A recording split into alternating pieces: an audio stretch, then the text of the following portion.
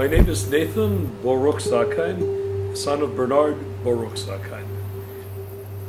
When he came out to America, this is in 1918, he was very young, 19 years old or so. He came to New York, didn't like New York, came to Los Angeles, didn't like Los Angeles, and went to San Francisco and stayed there.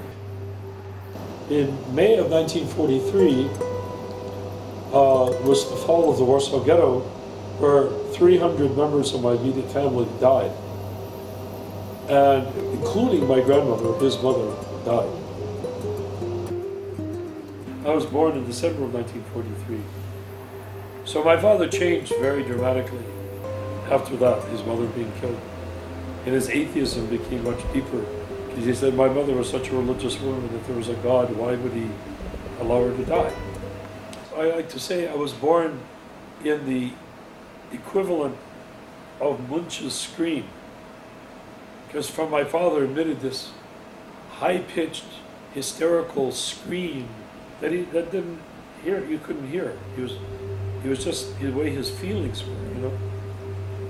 And he painted prolifically on Holocaust themes after that time.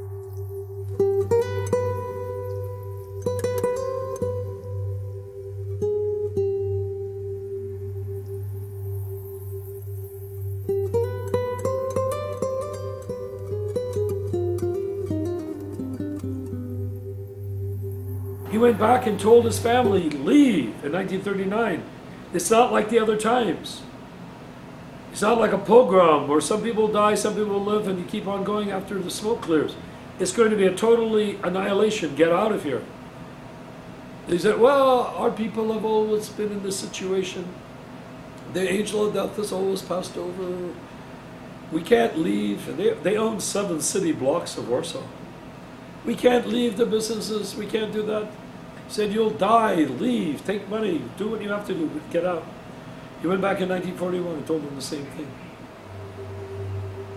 He made his monument to the Warsaw Ghetto, which is now, is now at uh, Mount Sinai Cemetery.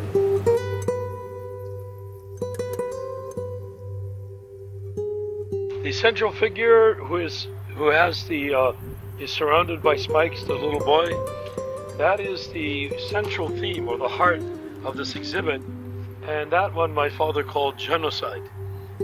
Genocide is always the, kill, the killing of a child because even elderly people are children as much as the children they produce and the children they produce are children.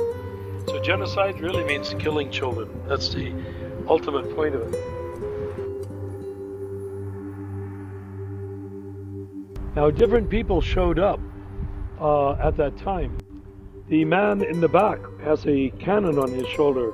He joined the resistance. He's a revolutionary and he's ready to fight for the freedom and the lives of his fellow people.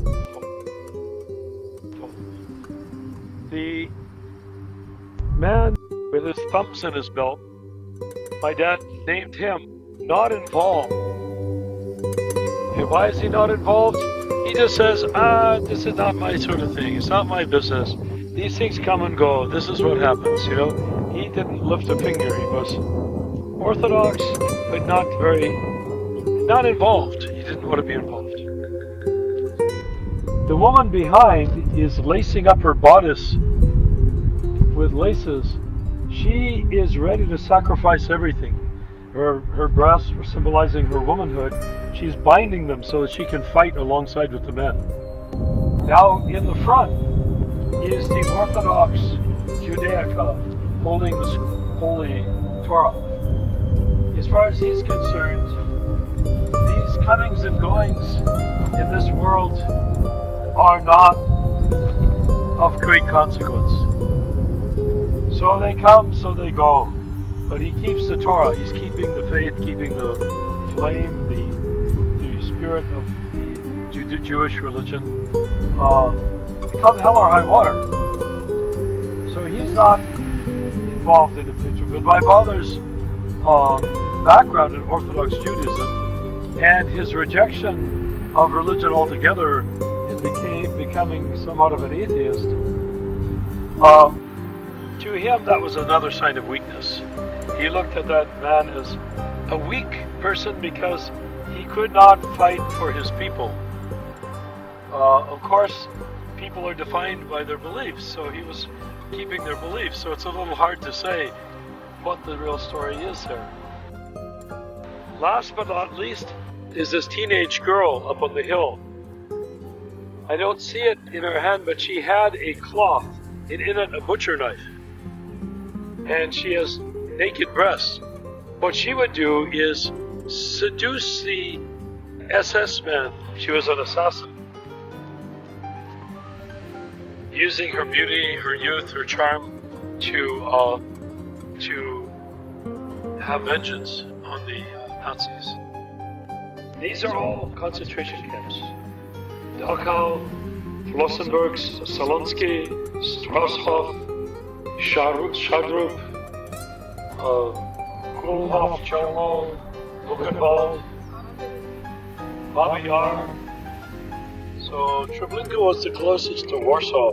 So I imagine that my ancestors' family all died there.